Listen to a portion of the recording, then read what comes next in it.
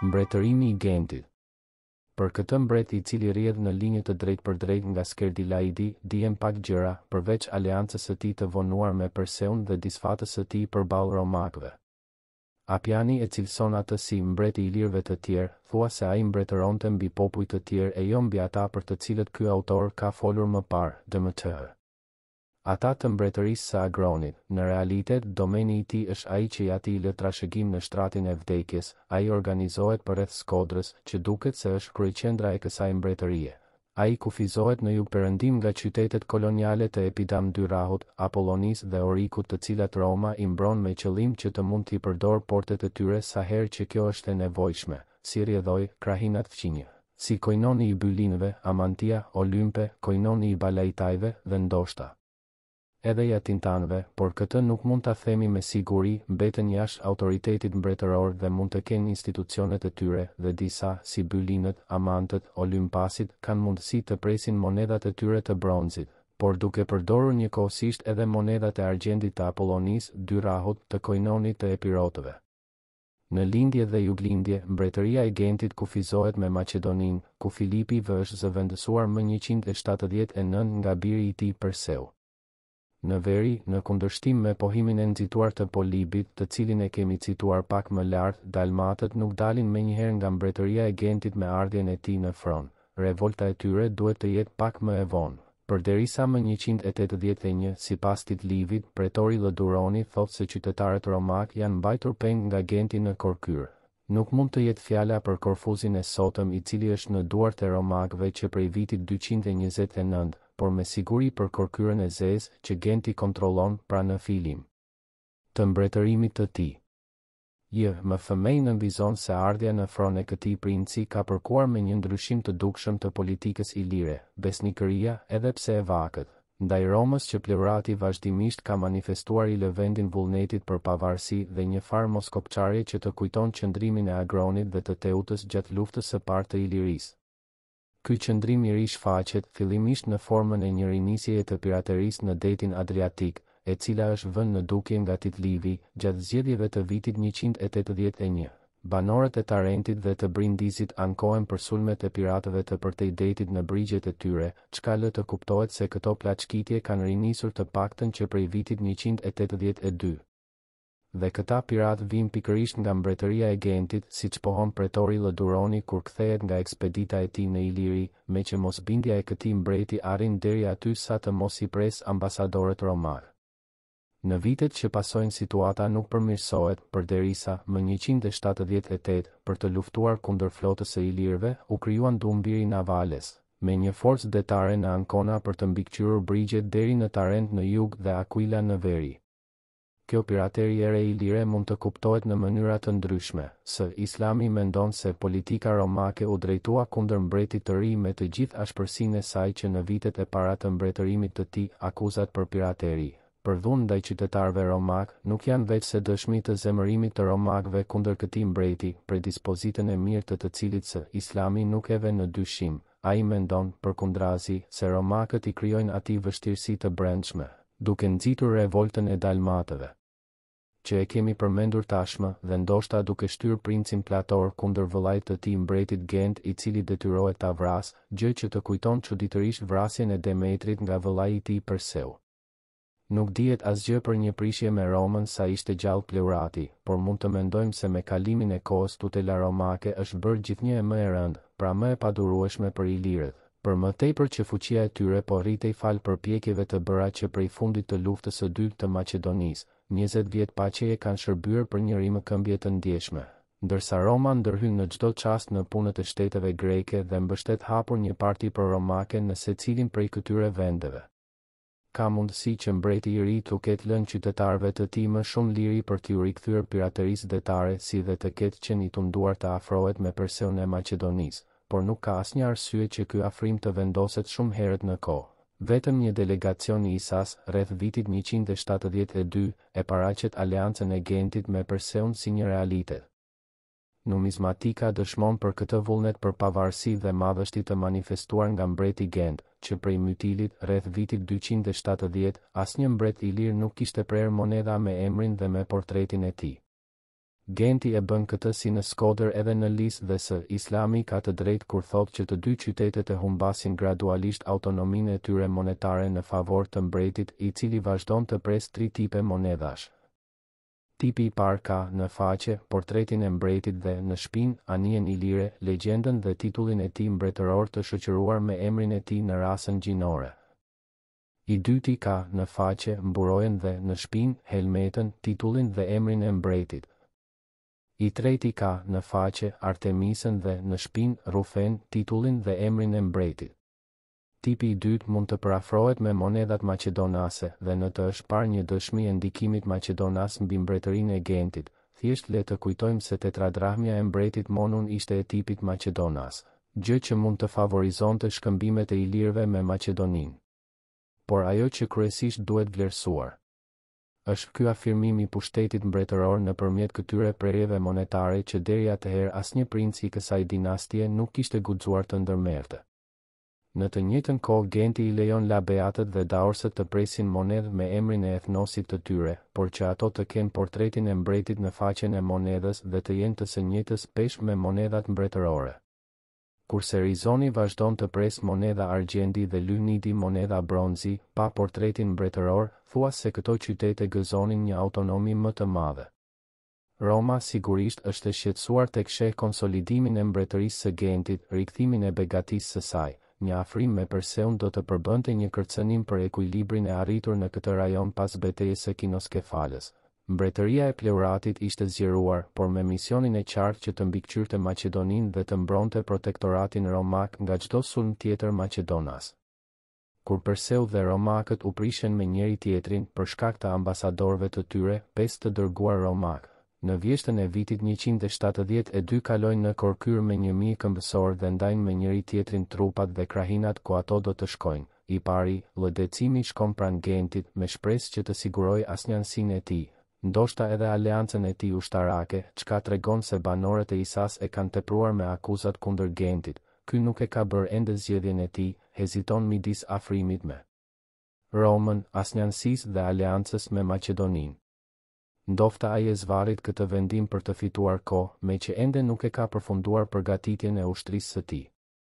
Nëse të dërguarit romakë u kërkojnë epirotëve, të mbledhur në Gitana, të dërgojnë katërqind djem të rinj që të shkojnë në Orestid për të penguar një rikthim të maqedonasve, Kjo nuk duhet interpretuar medoemos si një shprehje mosbesimi ndaj ilirëve, sepse orestët kanë pasur gjatë gjithë kohës lidhje të ngushta me epirotët.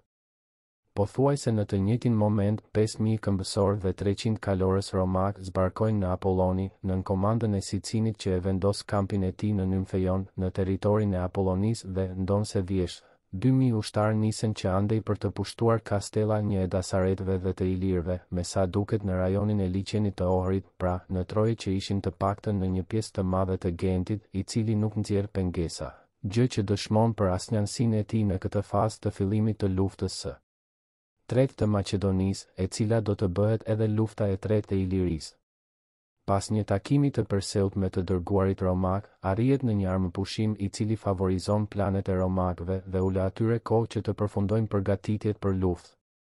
Në pranverën e vitit njëqind e shtatëdhjetë e një, vëllai i pretorit C. Lukreti niset më përpara për të mbledhur anijet aleate. Ai kalon në Dyrrah dhe gjen të grumbulluara dhjetë lemboj të qytetit, dymbëdhjetë të Isas dhe pesëdhjetë e katër të mbretit Gent dhe Tit Livi shton, ai u shtir sikur e besoi që ato i kishin bërë gati për romakët, i nisi të gjitha për në Korkyrë dhe më pas për në Kefaleni, një grumbullim i tillë të habit, sepse nëse banorët e Dyrrahut dhe të Isas u qëndrojnë besnikë romakëve, kjo nuk mund të thuhet me kaq. Siguri për Gentin, por sidoqoftë prania e anijeve të tij në portin e Dyrrahut nuk do të thotë se mbreti ilir po orvatej të pushtonte qytetin e madh. Genti heziton akoma. Misioni i L. Decimit në Iliri nuk u kurorëzua me sukses, meqë edhe u dyshua se ai kishte marrë para nga mbretërit ilirë, sipas shprehjes së Tit Livit i cili duket se kërkon të nxjerrë në pah ekzistencën e dinastëve pak a shumë të pavarur nga Genti, Unë do të shihja këtu pa hezitim pikëtakimin e dy rrymave, atë të ilirëve gjithnjë të gatshëm për t'u përçarë kur nuk kanë në krye një prijës energjik siç kanë qenë Skerdilaidi dhe i biri Pleurati dhe rrymën e nxitur nga politika romake që përpiqet të krijojë ndaj Gentit rivalë tek të cilët Roma mund të mbështetej, siç ka bërë në Epir, në Akarnani, në Ahaia, etj., një nga këta përkrahës të Romës mund të ishte një farë Artetauri. Dinast vrasja e të cilit i atribuohet Perseut dhe të cilit nuk i dihet principata. Në këto kushte, kuptohet pakënaqësia e Gentit ndaj romakëve që mbjellin përçarjen në gjirin e mbretërisë ilire për të shkëputur nga Genti një numër dinastësh të vegjël dhe për të krijuar me ta një parti romake e cila mund të bëjë më të lehtë politikën e tyre. A kishte Genti të tjera synime duke dërguar pesëdhjetë e katër anije në Dyrrah? Kjo nuk do të dihet kurrë. Një gjë është e sigurt, pretori romak manovron me shkathtësi për të parandaluar një agresion të mundshëm nga deti dhe, në të njëjtën kohë, për të përforcuar flotën e vet po në pranverën e vitit njëqind e shtatëdhjetë e një, ushtria nën komandën e konsullit shkel në territorin e Apollonisë dhe vendos kampin e saj afër Nymfeut ashtu si dhe pararoja e dërguar në vjeshtën e një viti më parë, që andej, ajo përshkon Epirin. pastaj Thesalinë dhe fushata rrjedh pa lavdi për Romën, gjë që dobëson besimin e miqve të Romës dhe, nga ana tjetër, mund të inkurajojë përkrahësit e Perseut. Por, në Iliri, Tit Livi përmend operacionet e drejtuara nga një legat i ngarkuar të rrethojë dy oppida me pasuri të shumta, e para, me emrin Geramia u pushtua, e dyta, Karnunti, rezistoi aq mirë sa romakët u detyruan të mjaftohen vetëm me plaçkitjen e të parës. Këto dy fortesa nuk janë identifikuar dhe duhet të kufizohemi vetëm me vëzhgimin se është Roma ajo që merr iniciativën e operacioneve të luftës në territorin ilir dhe se, për momentin, Genti duket se nuk reagon për këto shkelje të aleancës së tyre, apo të asnjanësisë së mbretërisë së tij. Në pranverën e vitit njëqind e shtatëdhjetë, meqenëse nuk kishte besim tek Genti, Roma dërgon tetëmbëdhjetë anije dhe dy mijë ushtarë për të forcuar mbrojtjen e Isës që deri atëherë mbështetej vetëm në dy anije. Më pas konsulli Hostili dërgon në Iliri Ap. Klaudin me katër mijë ushtarë. Ai arrin të rekrutojë edhe tetë mijë burra tek aleatët dhe shkon e vendoset në Lyhnid që Tit Livi e cilëson si Dasarete, në një kohë kur ky qytet nuk u përket Dasaretëve. por gërmat e fjalës Lyçnidos nuk shquhen qartë, le të themi pra që romakët pushtojnë një lokalitet të Dasaretisë duke ngushtuar edhe më shumë zotërimet e Gentit në juglindje të domenit të tij. Me shpresën për të pushtuar qytetin e fortifikuar të Uskanas që ia premtonin disa emisarë të ardhur nga ky qytet, apë. Klaudi drejtohet për atje pa i marrë masat që normalisht nevojiten në një territor të pasigurt dhe pëson një disfatë të rëndë e cila e detyron të tërhiqet në Lyhnid me ata që kishin mbetur gjallë. Dimrin që pason, Perseu ndërmerr një ekspeditë të gjerë në Ilirinë e Jugut, ai ka siguruar mbështetjen e Kotyut, mbret i Thrakisë, kurse, në Epir, Koinoni është i ndarë në përkrahës të Karops të Riut, aleat i romakëve, dhe që mbledh rreth tij kaonët dhe një pjesë të thesprotëve dhe në përkrahës të magjistratëve të atyshëm, si Kefalos, Antinou dhe miqtë e tyre besnikë ndaj Aleancës Maqedonase. Për më tepër që ata janë mjaft të indinjuar nga sjellja e romakëve në shtetet greke. Sipas Tit Livit, Perseu merr fillimisht Uskanën dhe kjo vërtet të habit, sepse lë të nënkuptohet që mbas dështimit të rëndë të Ap. Klaudit në fillim të verës, Romakët kanë mundur ta pushtojnë qytetin para dimrit njëqind e shtatëdhjetë njëqind e gjashtëdhjetë e nëntë. Perseu do të zinte robër katër mijë romakë dhe pesëqind ilirë. Që andej, mbreti maqedonas që synon t'i afrohet vendit të Labeatëve, pra krahinës së Skodrës, merr një kala të quajtur Draudaku, nënshtron fortesën Oenea dhe pushton edhe njëmbëdhjetë fortesa të tjera. Një mijë e pesëqind romakë u zunë robër. I inkurajuar nga këto suksese, Perseu dërgon tek Genti një delegacion të përbërë nga një ilir i quajtur Pleurat, i cili jetonte në mërgim në oborrin e tij, nuk dihet nëse ai i takon familjes mbretërore të Gentit, edhe pse emri Pleurat përdoret shpesh në këtë familje dhe nga një maqedonas i quajtur Adeu nga Beroja, i pari, meqenëse flet gjuhën e vendit shërben si përkthyes, gjë që vë në pah se në oborrin e Gentit flitet një gjuhë tjetër, dhe jo greqishtja. Perseu ngarkon ambasadorët e tij t'i tregojnë Gentit për fitoret e arritura kundër romakëve, dardanëve, madje edhe në Iliri kundër garnizoneve romake dhe ilirëve që bashkëpunonin me ta, dhe se Epiri përkrahte pjesërisht kauzën maqedonase. Në këtë mënyrë mbreti maqedonas shpreson t'i mbushë mendjen Gentit që të lidhen se bashku me një traktat aleance dhe miqësie. Më pas, Polibi, të cilit Tit Livi i referohet besnikërisht, përshkruan kalimin e malit Skardi, pastaj të shkretëtirës ilire, krahinë në veri të burimeve të Vardarit e shkretuar nga maqedonasit që të pengonin pushtimin e Maqedonisë dhe Ilirisë nga Dardanët. Genti, i cili nuk ndodhet në Shkodër, e pret delegacionin në Lis, ai shprehet i gatshëm të bëjë aleancë me Perseun kundër romakëve, por i nevojiten para. Në vend që t'i përgjigjet kërkesës së Gentit, Perseu dërgon edhe një herë tjetër delegacionin në të cilin këtë herë bën pjesë edhe truproja e tij Glaukia, por Genti i jep të njëjtën përgjigje, ai ishte i gatshëm të bashkohej me Perseun, por i nevojiteshin para. Perseu dërgon një mision të tretë që të arrijë një marrëveshje për ato pika për të cilat ata ishin dakord, por duke lënë mënjanë çështjen financiare. Duket qartë që ky projekt aleance mbetet pezull në këtë fillim të vitit njëqind e gjashtëdhjetë e nëntë, Genti nuk është i gatshëm të kalojë në anën e Perseut në një luftë rreziqet e së cilës i merr sigurisht me mend, cilido qoftë fituesi. Në dimrin e vitit njëqind e gjashtëdhjetë e nëntë, situata e Romakëve në Ilirinë e Jugut dhe në Epir nuk është e kënaqshme, sa që edhe territoret që dikur bënin pjesë në protektoratin romak nuk janë shumë të sigurta, Romakët u kërkojnë pengje penestëve dhe i dërgojnë ata në Apolloni, ndërsa pengjet e parthinëve dërgohen në Dyrrah.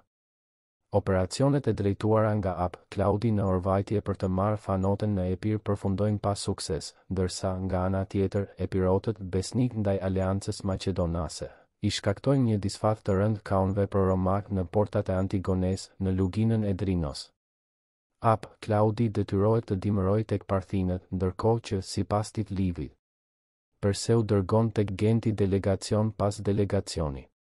Fushata e konsullit Q. Marci Filipi, më njëqind e gjashtëdhjetë e nëntë, nuk arrin ndonjë sukses të madh, duhet nënvizuar se portet ilire janë braktisur për t'i dhënë më tepër rëndësi gjirit të Ambrakisë, më afër Thesalisë, dhe nga ana tjetër duhet vënë në dukje prania e dy mijë penestëve ilirë që ishin dërguar nga Pleurati për garnizonin në Kasandra. A është fjala për Pleuratin, të atin e Gentit, që do të thoshte se ky garnizon ndodhej atje që prej pesëmbëdhjetë vjetësh, për Pleuratin që bën pjesë në delegacionin e dërguar tek Genti, apo për një tjetër Pleurat, të panjohur? Kësaj pyetjeje është e vështirë t'i japësh përgjigje. Nga ana e Frontit Ilir, raportimi që i bëhet Pal Emilit duket se e vlerëson siç duhet situatën. Nëse Ap. Klaudi do të kishte pasur një ushtri të fortë në rrethinat e Lyhnidit, ai do ta kishte çoroditur mbretin me krijimin e një fronti të dytë. Por tani Apit dhe trupave që ka me vete u kanoset një rrezik vërtet i madh, nëse pa humbur kohë nuk dërgohet në këtë vend një ushtri me efektiva të plota ose nëse nuk tërhiqen prej andej këto trupa. Perseu, duke parë se kërcënimi romak po afrohet, kupton më në fund që është koha për t'i bërë Gentit lëshimet e nevojshme që ai të hyjë në luftë. Perseu dërgon Hipian, në fund të verës së vitit njëqind e gjashtëdhjetë e nëntë, i cili kur kthehet i raporton se Genti kërkon treqind talenta për t'u angazhuar krah mbretit maqedonas. Perseu dërgon atëherë një ambasador të një rangu më të lartë, Pantaun, që mban titullin e një prej filojve të parë, çka vë në dukje, në oborrin maqedonas, këmbënguljen e këtyre miqve të mbretit të cilët janë dhe këshilltarët e tij më të afërt. Takimi zhvillohet në Meteon, në veri të Skodrës, në territorin e Labeatëve, Genti angazhohet në aleancë me premtimin se do të merrte treqind talenta, ai bën betimin, dorëzon pengjet dhe dërgon Olympionin pranë Perseut që të marrë, si shkëmbim, betimin e Perseut, pengjet e tij dhe treqind talenta. U ra dakord gjithashtu që ilirët të marrin pjesë në një mision tek Rodasit për t'i bindur këta të fundit të hyjnë në luftë. Pantau qëndron pranë Gentit që ta këshillojë gjatë kohës që ai përgatitet për luftë në tokë dhe në det.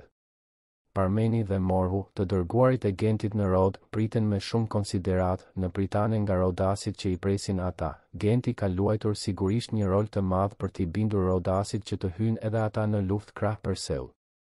Më pas, Perseu duket se e vret më shumë mendjen si të mos i japë paratë që kishte premtuar, ai humbet kështu mundësinë e një aleance me Eumenin e Pergamit, mbetet dhe pa përforcimet e bastarnëve të gatshëm të shërbejnë si mercenarë dhe, së fundi, i del nga fjala Gentit duke i çuar atij dhjetë talenta dhe duke mbajtur gjithë pjesën tjetër të shumës, nga dita që Genti burgosi dy të dërguar romakë.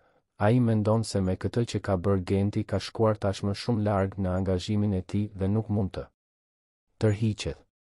I zhgënjyer nga koprracia e aleatit të tij, Genti do të tregohet një aleat fare i padobishëm, në një kohë kur lembojt e tij mund të kishin kërcënuar brigjet ilire dhe epirote dhe si pasojë t'ua prisnin romakëve rrugët e komunikimit. Mbërritja e konsullit të ri, Pal Emilit, në Maqedoni, në fund të pranverës së vitit njëqind e gjashtëdhjetë e tetë, i jep luftës një zhvillim vendimtar. Në Iliri, pretori L. Anici i zë vendin Ap. Klaudit. Operacionet në Iliri nisin madje para mbërritjes së pretorit të ri, Genti mbledh ushtrinë e tij prej pesëmbëdhjetë mijë burrash në Lis, është një efektiv sa gjysma e atij që mund të rreshtojnë romakët në të njëjtin sektor fronti. Genti dërgon vëllain e tij, Karavanti, me një mijë këmbësorë dhe pesëdhjetë kalorës për të nënshtruar ethnosin, gens, e kavëve ndërsa ai vetë marshon drejt Basanias, pesë mijë hapa nga Lisi, ndoshta pranë grykëderdhjes të lumit Mat. paksa në jug të Lisit, banorët e të cilit janë përkrahës të romakëve. Ap. Klaudi i shton ushtrisë së tij luftëtarë të rekrutuar tek Bylinët, Apolloniatët dhe në Dyrrah, njëqind e shtatëdhjetë e një, dhe shkon të vendosë kampin afër Genusit, Shkumbinit. Në këtë kohë mbërrin në Apolloni pretori i ri L. Anici, Ai i shton ushtrisë së tij luftëtarë Parthinë dhe po përgatitej të marshonte për të çliruar Basanian kur lajmi se flota e Gentit kishte bërë kërdinë në territoret e Apollonisë dhe të Dyrrahut e detyron atë të marrë masa të ngutshme. Edhe pse vazhdimi i tekstit të Tit Livit është me mungesa, për lexuesin është e qartë se papritur punët e Gentit marrin për keq, qytetet e krahinës dorëzohen njëri pas tjetrit dhe ushtria romake mbërrin përballë Skodrës. Kalaja i siguronte Gentit një mbrojtje të fortë, por në vend që të qëndrojë brenda saj, ai pranon luftimin jashtë mureve të kalasë dhe pëson një disfatë të plotë. Pas një pezullimi të luftimeve që zgjati tri ditë, Genti i dorëzohet pretorit. Ky i fundit jep urdhër që të arrestohet në Meteon e gjithë familja e mbretit dhe Genti dhe pas një lufte që zgjat fare pak, të tijtë dërgohen në Romë.